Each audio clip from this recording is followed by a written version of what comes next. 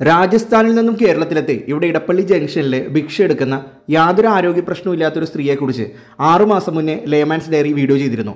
Video വൈറലായതിന് പിന്നാലെ ഭിക്ഷാടനം നിർത്തി അവർ തിരികെ പോയെങ്കിലും ഇപ്പോൾ വീണ്ടും തിരികെ എത്തി സജീവമായിട്ടുണ്ട്. ഇവരുടെ വീഡിയോ ചെയ്യുന്ന സമയത്ത് ബക്കറ്റുമായിട്ട് പിരിവെടുക്കുന്ന മറ്റൊരു വ്യക്തി എന്റെ ശ്രദ്ധയിൽപ്പെട്ടെങ്കിലും ഓപ്പറേഷന്റെ സഹായം എന്ന് ബക്കറ്റിൽ എഴുതി വെച്ചിരുന്നുകൊണ്ട് അദ്ദേഹത്തെക്കുറിച്ച് കൂടുതലൊന്നും അന്വേഷിച്ചില്ല.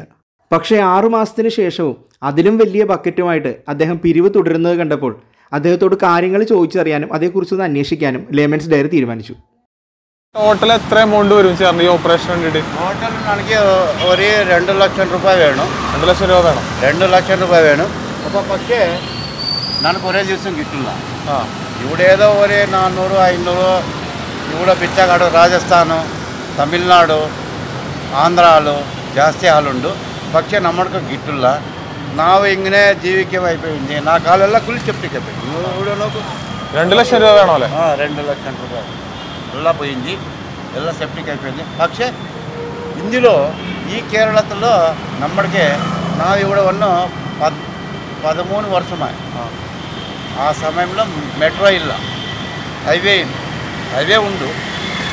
ఆ సమయంలో నా ఇవిడ బిచ్చం కోసం ట్యాబ్లెట్ പർശനക്ക് കൈക്കൊള്ളും. ഇങ്ങനെ ജീവിക്കുമായിപ്പോయింది പക്ഷേ നനക്ക് ഇവിടെ നല്ല മനസ്സുണ്ടാളു ഇത് ഇന്നൊരു പ്രശ്നം. ఇందులో all India. All India.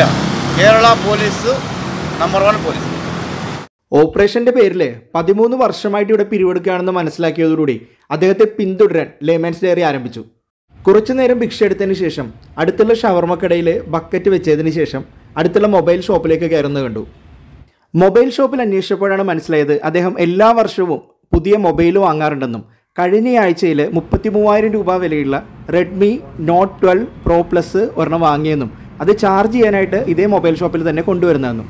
എല്ലാ ദിവസവും വരുമോ ഇടാൻ വേണ്ടിയിട്ട്?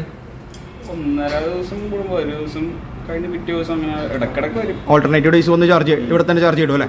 അണ്ട് എപ്പോൾ ഒന്ന് എടുക്കുക ഇട്ടിട്ട് പോയിട്ട്? രാത്രി ആകുമ്പോൾ രാവിലെ ഇട്ടിട്ട് രാത്രി വന്ന് എടുക്കുള്ളൂ. ഇതാണല്ലേ ഫോൺ എത്രയുടെ റേറ്റ് എത്രയാണ്? മുപ്പത്തി മൂവായിരം അല്ലേ? Ready cash ആയിരുന്നല്ലേ? ഓക്കെ തിരികെ ജംഗ്ഷനിലെത്തി കുറച്ചധികം നേരം ഭിക്ഷ എടുത്തു.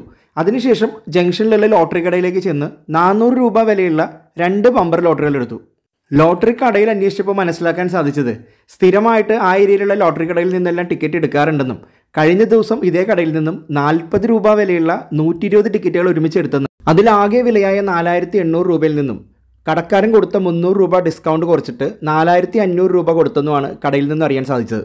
രാത്രിയിൽ ഞങ്ങൾ വീണ്ടും തിരികെ വന്നു. ജംഗ്ഷനിലെങ്ങും ആളെ കാണാനില്ല. കുറച്ച് നേരത്തെ അന്വേഷണത്തിനൊടുവിൽ അടുത്തുള്ള ബാറിന്റെ മുമ്പിൽ മൊബൈൽ നോക്കിയിരിക്കുന്നത് കണ്ടു. അവിടെ നിന്നും മെട്രോ സ്റ്റേഷൻ അടുത്തുള്ള പാർക്കിംഗ് ലോട്ടിന്റെ മുന്നിലെ ഷവർമ്മ കടയിലേക്ക് വന്നു. അവിടെ കുറച്ചധികം നേരം മൊബൈലെല്ലാം നോക്കിയിരുന്ന് അവിടെ നിന്നൊരു ഷവർമ്മയും മേടിച്ച് കഴിച്ച് അടുത്തുള്ള ബസ് സ്റ്റോപ്പിലേക്ക് പോയി അവിടെ കിടന്നുറങ്ങി. ആ രാത്രി അങ്ങനെ കഴിഞ്ഞു. മറ്റൊരു രാത്രിയിൽ ഞങ്ങൾ വീണ്ടും വന്നു. പതിവ് പോലെ ആളെ ജംഗ്ഷനിലെങ്ങും കാണാനില്ല. മുന്നത്തെ ദിവസം കണ്ട ബാറിലുണ്ടാകുമോ എന്നൊരു സംശയം തോന്നി. ഊഹം തെറ്റിയില്ല. എ സി ബാറിന്റെ ഫസ്റ്റ് ടേബിളിൽ തന്നെ രണ്ട് ചിൽഡ് ബിയറും ചില്ലി ചിക്കനും എല്ലാമായിട്ട് ആളവിടെ ഉണ്ട്. ബാറിലിരുന്ന് ചിൽഡ് ബിയറും കുടിച്ച് അന്നത്തെ കളക്ഷനൊക്കെ എണ്ണി തിട്ടപ്പെടുത്തുന്ന തിരക്കിലാണ്. കുറച്ച് കഴിഞ്ഞപ്പോൾ പുറത്തിറങ്ങി പോയി കുറച്ച് സിഗരറ്റൊക്കെ വലിച്ച് വീണ്ടും തിരികെ വന്ന് ബാക്കി ബിയറെല്ലാം കുടിച്ചു. ബാറിൽ നിന്ന് നല്ലവണ്ണം കുടിച്ച് നേരെ നടക്കാൻ പറ്റാത്തൊരവസ്ഥയിലാണ് ബാറിൽ നിന്ന് പുറത്തേക്ക് ഇറങ്ങിയത്. തിരിച്ചു പോകുന്നതിന് മുന്നേ അണ്ണൻ കിടക്കുന്ന സ്ഥലമൊന്ന് പോയി കണ്ടേക്കാം എന്നോർത്ത് ചെന്ന് ഞങ്ങളെ അണ്ണൻ ഞെട്ടിച്ചു.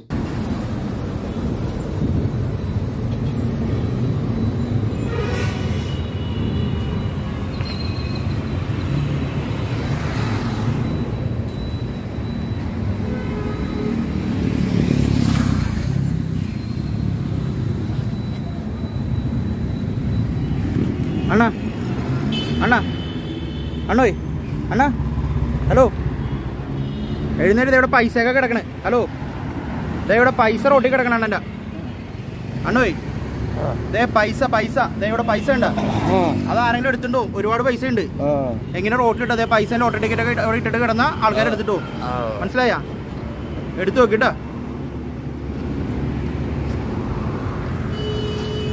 നിങ്ങളുടെ വിയർപ്പിന്റെയും അധ്വാനത്തിന്റെയും ഫലമായ പണത്തിൽ നിന്നും ഭിക്ഷ കൊടുക്കുന്ന പങ്ക് എവിടെ പോകുന്നു എന്ന് മനസ്സിലാക്കാൻ സാധിച്ചു എന്ന് വിചാരിക്കുന്നു.